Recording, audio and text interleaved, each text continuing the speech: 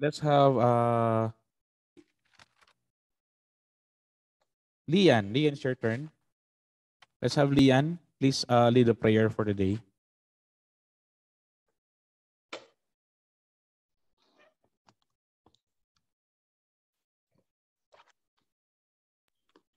You may now start by asking your classmates if they're ready to pray. Ready to pray, classmates. Answer, yes? Yes,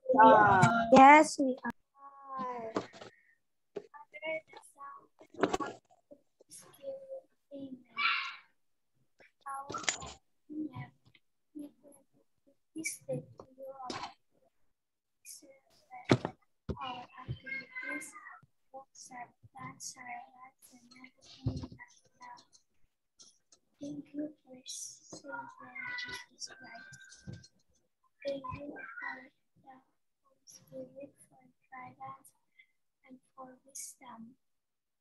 We ask you, O God, for the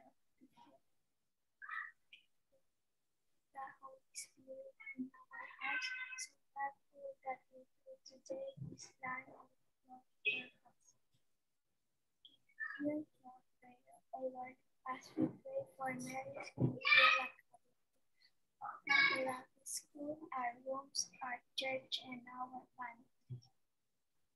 We pray for the work of the Red Cross, our teachers, our families, and our friends. Help us, Father God, to spiritually help us to believe and trust in your own word. Because if we seek your face in the morning, you will be with us all the day. This we in the name Lord Jesus Christ. Amen. Our Father in heaven, hallowed be thy name, your kingdom come, your will be upon you. Will be done on earth as it is in heaven. Everyone, give us this day bread and forgive us our sins as we forgive those who sin against us. And do not bring us to the test, but deliver us from evil. Amen. Hail Mary, full of grace,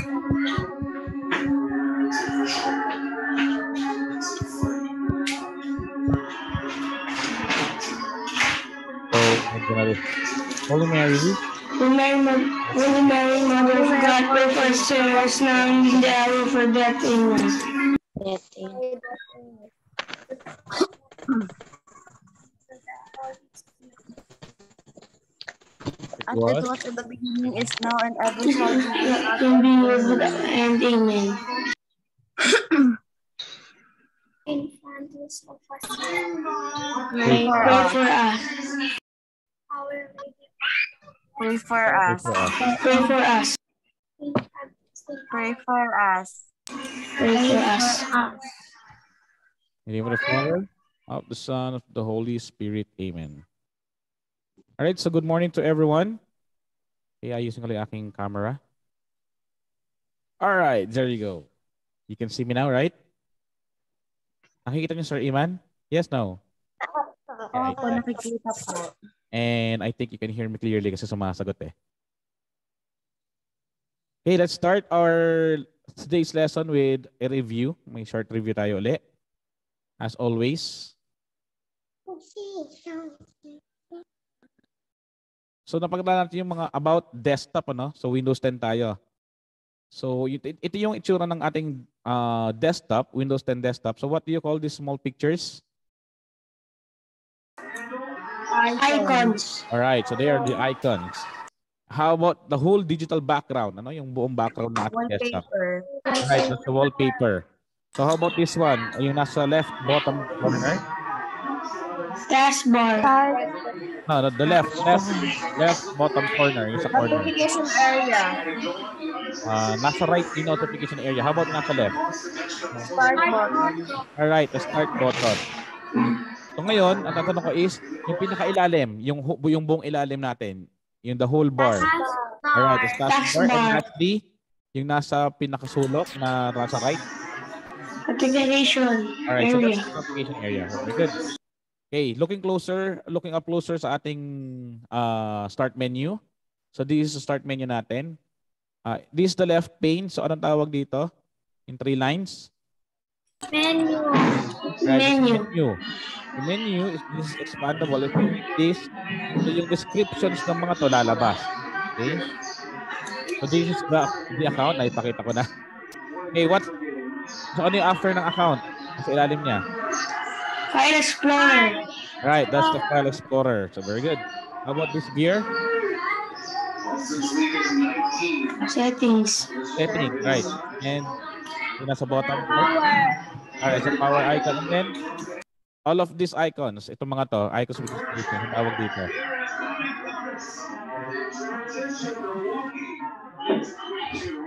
App, the, Application. Alright, so they are all the applications, ano?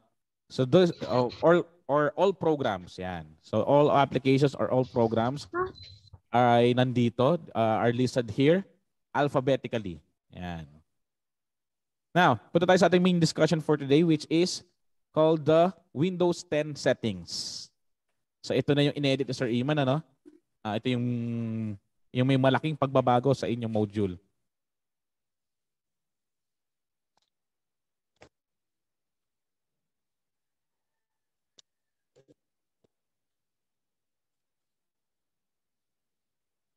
Alright, so ito na no. Uh, Windows 10 is full of specialist tools that are used to change the way Windows looks and behave. And it also provides the options for you to customize the appearance and functionality of your computer. Pwede kang mag-add or, or pwede kang mag-add or remove ng programs, pwede kang mag-set up ng network connections, and pwede ka rin mag-add ng user accounts gamit ang ating Windows 10 settings. So basically, the Windows settings is a part of uh, the Microsoft Windows graphical user interface, which allows you, the, the user, to view and uh, manipulate. Yan, uh, to view and manipulate basic system settings and controls. So yun ang nagagawa ng Windows 10 settings. Right? So there are three ways for you to be able to access the settings app. Tatlong paraan, ano? So yung una natin, so how to open the Windows 10 settings app. Di ba tinuro ko sa inyo yung start button? Right? So first is, ah, okay. Punta lang sa keyboard pala muna sa keyboard. So use, who is using a, um, who's using a computer right now or laptop? Uh, Cassie and Lian. Who else? JB, I think JB. JB, are you using a laptop right now? And he's gone. Nawala si JB. How about, uh, si Given ba? Anong gamit mo ngayon, Given? Can you hear me, Given? Cellphone ko po. Ah, cellphone naman. Okay, so try natin ano? Uh, on your keyboard, on your keyboard ah. So the uh, first thing is you need to press the window key. So alam nyo ba kung yung window key kung nasaan? So you need to press window key plus the letter I. So, so you're going to press it together. So sa ating keyboard, ayan yan. Yung window key is in between control and alt key. Try nyo nga yung, naka, yung gumagamit ng computer ngayon or laptop. Kung lalabas ba siya. Bago nyo i-close mamaya kung magka lumabas na.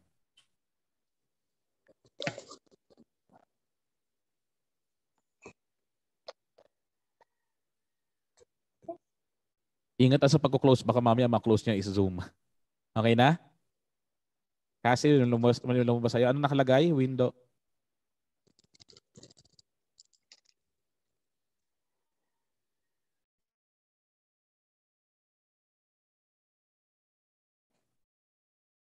Alright.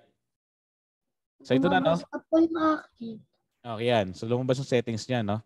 So that's uh that's the first way kung paano ma-open ng Windows 10 settings app. Now, the second way is uh, you need to click start. Yung, yung tinuro ko sa inyo kanina, uh, yung, yung tinuro ko last time. So click start. Yan, yung start, start button. And then choose settings. Yung nasa left pane natin. So menu. So this is the count, uh, the settings, and the power icon. So yun lang, ano? So start. So gamit, gamit ang mouse natin, uh, you need to click the start and then choose settings. So click niyo yan. So ganun din yun. So instead of using your keyboard, kung tamad kayo mag-keyboard, gusto niyo mouse lang gamitin nyo, so just uh, click start and then settings. As simple as that. And the third way to access settings is paggamit ng search, ng search bar. No? So yung search bar natin, makikita sa taskbar. Okay? So ito yon. So that's the search bar. Alright? Yung search bar natin, so located siya just beside the start menu or the start button. So you, you just need to type settings. Yan. Type niyo yung settings dyan. And the option to click the settings app will appear. So lalabas ito. Okay, once lumabas na yan, so you, you can click here or here. Okay, so pwede ka mag-click dito, again, dito sa settings or here. And then magpa-pop up na or lalabas na yung ating Windows 10 setting screen. Yan. So ganito itsura ng ating settings, settings app. And here in the Windows 10 settings screen, uh, marami na bago. No? So Windows 10 reorganized a lot of system settings into a new settings app. Dati kasi, ganito yung itsura ng ating control panel. Okay? Nung Windows 7 pa, ganyan ang itsura niya. So, ayan, system security, network internet, hardware and sound, programs, ease of access, clock, language and region, appearance and personalization, user accounts, and family safety. Ngayon, ito na itsura niya. Okay, ito yung system. Actually, gusto ko tandaan din yung mga icons ha. Yung how the icons looks like. And then, you're going to identify kung ano siyang, kung anong category siya. Okay? So, meron tayong mga categories dito.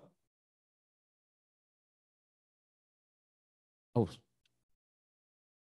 I need to show pala my settings here.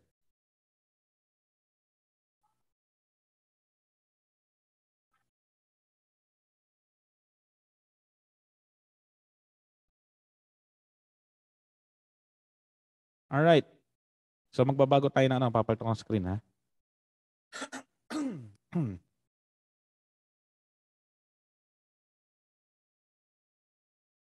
Not that one. Ayun, so dumami kayo. Dumami kayo, dumami. All right, so what you're seeing right now is my Windows settings. Dito mismo sa aking laptop. So I, I pressed window key and then letter I. So in the settings app, there are a number of categories that encompass most of your computer settings. So these are the these are the categories. System, devices, phone, network and internet, personalization, apps, accounts, time and language, gaming, ease of access, search, privacy, update, and security. So ang tawag sa kanila ay categories. Right? So each category ay merong mga subcategories within it. So let's say for example, apps. Okay, dito sa apps tayo ha. Nandito yung aking mouse. So, i-click yung apps. So, uh, app category, apps category is where you uh, you could in, uninstall and uh, put defaults ano, sa mga programs natin. Okay, wait lang natin mag-load. Na-click ko na siya. Na-click ko na yung apps. Kasi marami nakabukas ngayon sa akin laptop, ano? kaya medyo matagal siyang mag-load.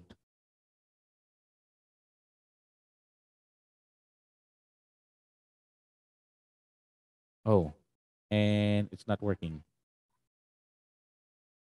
How about system?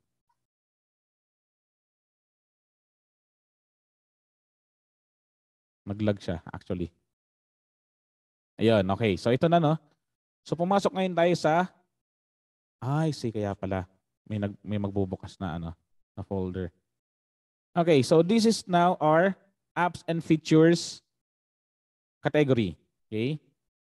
So here in the left pane, or the navigation, navigation pane, dito natin makikita ang tinatawag na subcategories ng apps. So ito yung apps natin. This is the, this is the main category. And these And these are the subcategories ng apps. Okay? And ito naman part na to, ito yung specifics ano? Ito yung specifics ng ng ating subcategories, okay? So sa ngayon nandito tayo sa apps and features. Okay? So pag click ko to mababago yung ating specifics, default apps. Yan. So here we can customize, pwede natin mabago kung ano yung mga default apps na pwedeng magbukas ng ating mail, ang map uh, ng ating music player, photos, yan. This is my default uh, default web browser. And so just click here. Pwede ka na mamili ng mga default na player natin. And so I'll, I'll be choosing VLC player.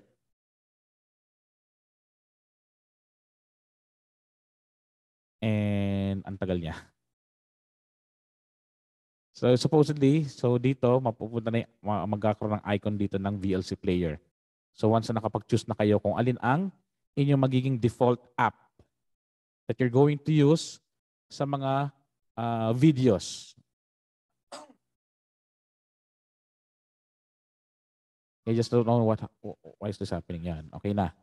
Okay, so again, ito yung subcategories natin and these are the uh, this is the specifics. Okay. Now, for you to be able to go back, ha? Uh, okay, wait pala natin. Sa apps and features, so ito yung kanyang specifics.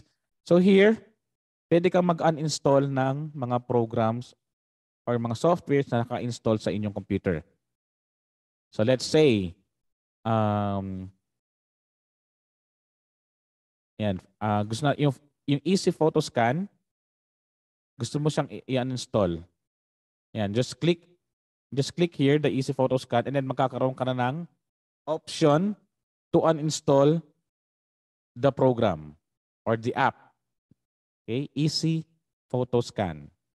So yan, so just click this, uninstall, na hindi ko naman gagawin kasi matatanggal siya. Okay, so just click here. Okay? Now, for you to be able to go back to the home screen ng ating settings ng ating setting screen, so just click here, no? Ito home. So just click here home and mapupunta ka na rin sa ating home screen ng Windows settings.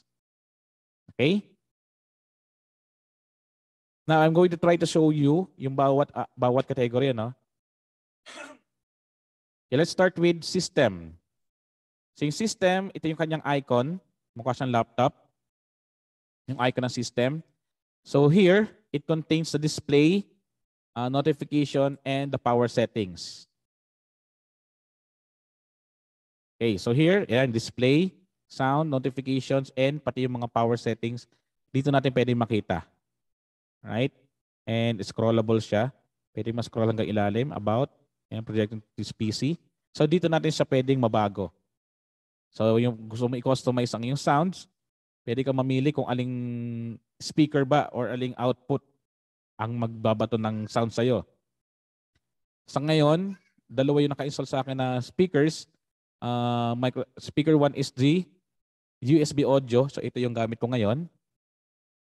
And the other one is the Realtek High Definition Audio, which is yung hindi, hindi nyo nakikita. So meron ako isa pang speaker dito sa aking harapan. But right now, I'm using the uh, the MV, MV Seacon B1 uh, USB audio, which is this one, yung aking headset ngayon. So kung halimbawa, pinili ko yung ito, itong isa, yung Realtek na to, once na kayo nagsalita, lalabas ngayon sa other speaker yung inyong mga boses. Doon ko kayo maririnig. And the master volume, of course, pwede kong pahinain, pwede kong palaksan by using this one. Alright. Input is your microphone. Yan. So I have three microphones that is installed in my computer. So dito ko siya pwedeng piliin if I if I will eh, kung gusto kong uh, ilipat ano yung aking input. Okay, next is, so balik tayo sa ating home screen. Next is devices. So devices contains hardware and devices, kasama na rin yung Bluetooth devices that are connected to your computer. So all of the peripherals that are connected to your computer or to your laptop, dito natin makikita sa devices. Yan, gaya printers and scanners, mouse, touchpad. Touchpad is uh, available kung halimbawa naka-laptop kayo, no? Uh, yan, Bluetooth and other devices. Right now, wala, wala akong nakakabit na Bluetooth dito. Any device that is connected through Bluetooth, wala. Kaya, ayan, so wala naman masyado makikita rito. So right now, it's uh, it's on yung aking Bluetooth, but it's not, uh, walang, walang peripherals na nakakonect sa kanya. Alright, balik tayo sa ating home screen ulit.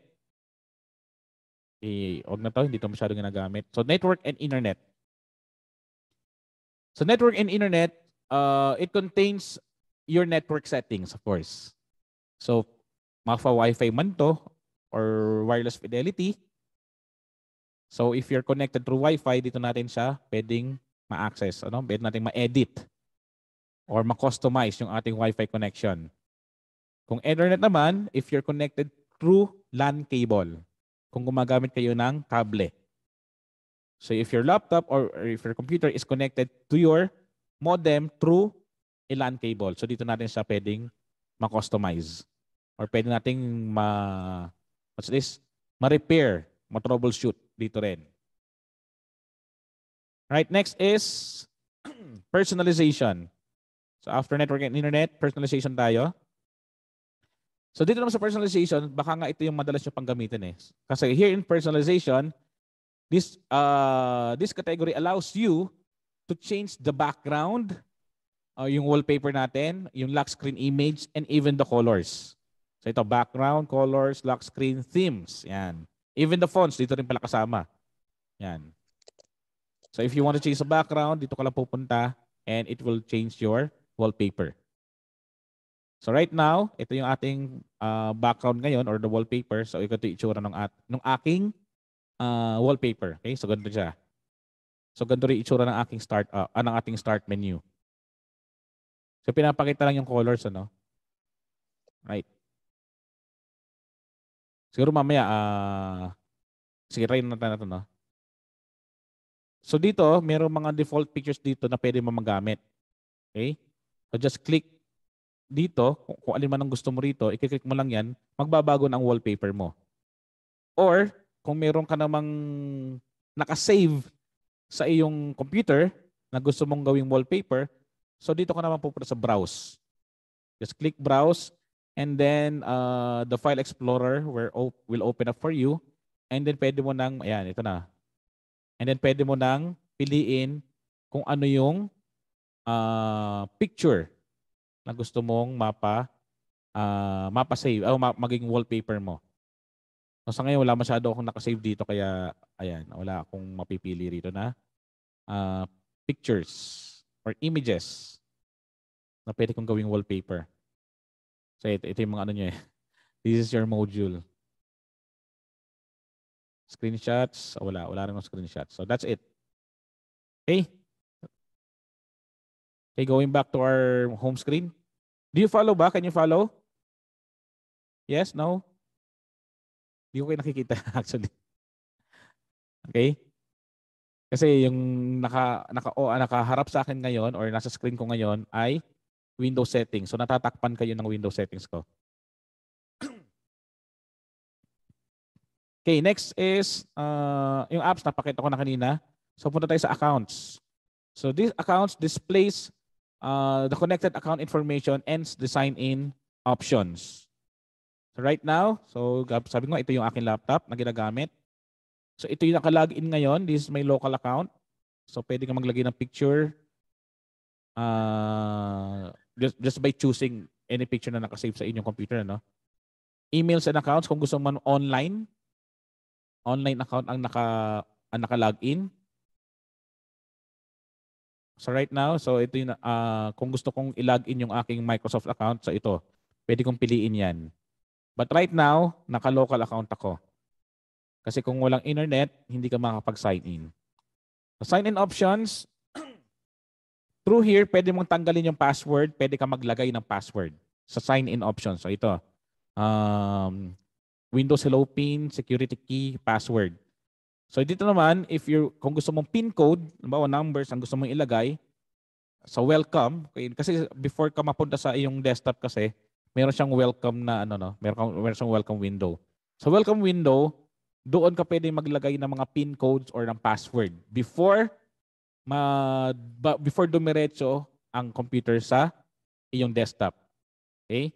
So ito, kung pin code, pwede kang maglagay ng numbers. Halimbawa, gusto mo uh, 0000. Pwede ganon. So just, uh, click this, add ano. Pwede namang security key. So security key, gagamit ka rito ng flash drive. Kung saan doon masasave ang iyong key. So kailangan, every time that you're going to turn on your computer, para dumiretso sa ating desktop, kailangan ipa-plug mo yung iyong uh, uh, flash drive. Okay? So halimbawa, dito sa flash drive na to, dito nakasave yung key or the, or the security key. I need to plug this every time na ako ay mag-turn on ng computer. And password, so kailangan naman dito is online. So kailangan nakalog in ang iyong Microsoft account. Alright? So Microsoft account na kailangan dito. Alright, next is um, time and language. So of course, it contains time, language, and the regional settings. So right now, it's May, it's May 4th, year 2022, 9.13 in the morning. So ito naman by default, nakaset time automatically. So once you're connected to the internet, ayan, so automatic ay ibib- ilalagay na niya yung standard time kung saan ka man nakatira or kung saan man ang location mo. So right now, ang ginagamit natin is, this is our time zone, UTC plus 800 time, which is uh, nasa Taipei. Ano? Taipei is Taiwan, which is nasa taas lang ng Philippines. Ano? So this is our time. Ito yung ating time na ginagamit, time zone. All right. Next is um, ease of access. So ease of access, uh, this provides the accessibility features for individuals with disabilities. So if you're having problem with your eyes, so pwede nating mabago rito yung, icon, yung ating mga letters, yung sample text natin. Yan. So pwede natin mapalaki using this uh, ease of access category. So pwede mapalaki yung mga texts. Ayan. Kasi by default, ganito lang kaliit yan. Ayan yung sample text natin. Nakikita nyo sa screen niyo. So ito lang yung uh, default niya.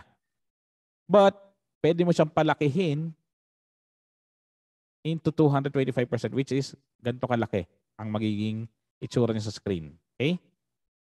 Now, what if um, hindi lang ba siya hindi pala siya basta malabo ano? Halimbawa talagang wala wala na siyang ano, wala siyang paningin na or sobrang labo na talaga ang iyang paningin ano. Uh, we, you can use the magnifier or pwede ka maglagay ng narrator. So sa narrator naman, once na ito'y naka-turn on, yung narrator natin, hindi pa siya lumal... Okay, yan. Ayan, so ito lang, no? i-turn naman yung narrator. So every time that you're going to uh, hover your mouse, ito yung ating mouse pointer, yung gumagalaw sa atin ngayon. So once na hinover mo sa isang link, may magsasalita para sa'yo. Okay? May magsasalita sa computer. So let's say sabihin niya ay nakatu nakaturo doon sa display. So I think babae ang ano no, babae yung boses nakalagay ay display. Cursor and pointer. Pag nilipat mo rito, magnifier. Yan. May magsasalita na narrator. So ikaw naman, dahil nga siyempre wala na yung paningin mo, maririnig mo yon. So kung gusto mong pumunta sa color and color filters, itapat mo ron, uh, isa-isa mo itapat isa-isa mo itapat yung mouse going to color filters hanggang sa may magsalta. Color filters. So yun na. You're already there. So i-click mo na ngayon siya. Right? And okay, last two tayo, last two. Privacy na tayo, privacy. So privacy naman, this allows you to determine which apps can access your hardware and data. So ito naman nagagamit ko usually. Uh, ba't nawala yung ano ko? Alright, so yung mga apps permissions. So let's just like this my camera. Yung camera ko, ang mga pwedeng, um, pwede na mag-access is Google Chrome, OBS Studio, Zoom Meetings, and ito pa, uh, Microsoft Edge, Skype. But the other here, the other apps here, gaya ng 3D Viewer, Microsoft Photos, Microsoft Store, yan, naka-off sila. Ini-off ko yan kasi hindi ko naman ginagamit yan. So they're not allowed to access my camera. So yan, kung halimbawa, gamit-gamit mo yung camera mo, just like uh, gaya ngayon, so it's being used by the OBS Studio. Okay, and the OBS Studio siya naman ang nagbabato ng aking image sa inyo. Alright? Again, privacy, it allows you to determine which apps can access your hardware and data. And lastly, before we end up our lessons, is the update and security. Well, of course, ang, ang, ang content niya is uh, the updates and security settings of your uh, of your Windows. So right now, yung aking Windows update is uh, currently unavailable. Ipinos ko muna siya. Uh, kasi ayoko masyad, ayoko lagi nag-update yung aking Windows. Kasi minsan uh, nagka-crash yung aking ano no, yung aking operating system or my OS every time na uh, may mga time na nagka-crash siya dun sa ilang updates. All right. Any question? Do you have any question? Sure? Naunawa ng ating Windows 10 settings?